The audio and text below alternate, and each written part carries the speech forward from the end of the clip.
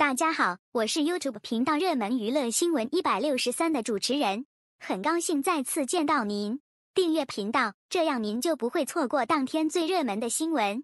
这是今天的新闻：王一博发布会现场照。昨晚发布会上的王一博又帅出了新高度，新手机也是相当的好看。